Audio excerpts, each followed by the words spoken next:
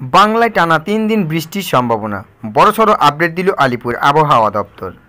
শীতের বিদায়ে সকালে ও রাতে হালকা শীতের আমেজ অব্যাহত আজ সকাল থেকে মেঘলা আকাশ, সঙ্গে টিপ টিপ বৃষ্টি। আগামীকাল থেকে রাজ্য জুড়ে বৃষ্টির প্রভাবের আগেই জানিয়েছিল আলিপুর আবহাওয়া দপ্তর।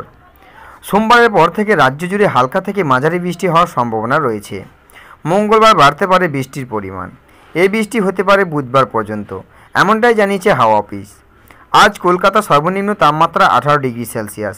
অন্যদিকে বিহার ও ঝাড়খণ্ডের ওপর ঘূর্ণাবর্ত তৈরি হওয়া কারণে সোমবার গাঙ্গে পশ্চিমবঙ্গে বেশ কিছু জায়গায় হিমালয় সংলগ্ন ও পশ্চিমবঙ্গে বজ্রবিদ্যুৎ সহ বৃষ্টির সম্ভাবনা রয়েছে। বুধবার পর্যন্ত বৃষ্টি হতে পারে। এছাড়া বেশ কিছু জায়গায় বজ্রবিদ্যুৎ সহ বৃষ্টিপাত হওয়ার সম্ভাবনা থাকার হলুদ সতর্কতা জারি করেছে আলিপুর আবহাওয়া দপ্তর। আবহাওয়া দপ্তরের পূর্বাভাস অনুযায়ী উত্তরবঙ্গে প্রায় সব জেলাতেই সোমবার ও মঙ্গলবার হালকা বৃষ্টি হতে পারে। তো ফ্রেন্ডস আলিপুর আবহাওয়া দপ্তর থেকে ছিল আজকের লেটেস্ট আপডেট যদি ভিডিওটা আমাদের ভালো লেগে থাকে, অবশ্যই একটি লাইক করে দেবেন। অবশ্যই কমেন্ট বক্সে কমেন্ট করে জানাবেন।